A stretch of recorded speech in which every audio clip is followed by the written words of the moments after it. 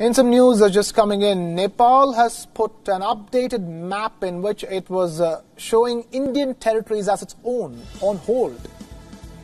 Sources have told WION World is One that Nepal's parliament will not be taking up the constitutional amendment on the map. The map can get a legal backing only after a constitutional amendment. However, Nepal has not provided any reason for this latest decision. Our principal diplomatic correspondent Siddhant Sibal now joins us on the phone line for more. Siddhant, talk to us. Uh, this is the latest uh, twist in the story coming in from Nepal.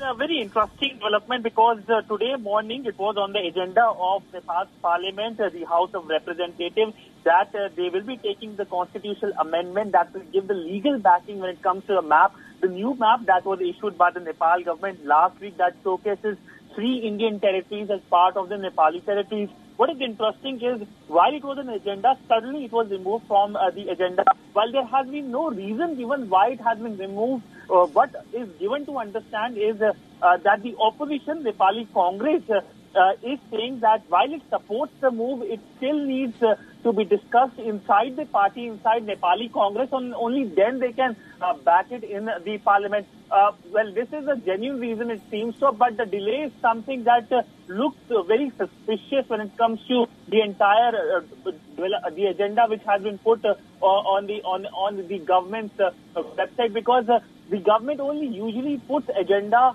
on the website once it gets a backing in the parliament. Uh, if it doesn't get the backing, it will not rush. So the fact that either the government has rushed into putting the agenda on uh, the, the the agenda of the parliament, or it seems that someone has moved somewhere. Uh, we know this is something that gives a bigger when it comes to India-Nepal diplomatic relationship because this gives uh, time enough for India and Nepal to stick together and chalk out the entire entire problem which arose uh, just few weeks ago after uh, we know that Nepal had strongly protested uh, the Indian Defence Minister opening a road till Lipulekh, which Nepal says is its own territory. Then, of course, we know that the Indian envoy had met uh, the Nepali Foreign Minister. Uh, then, of course, we have seen twice the Nepali uh, Prime Minister KP Sharma Oli saying that when it comes to COVID crisis in his country, it is because of the right. influx which is happening from India.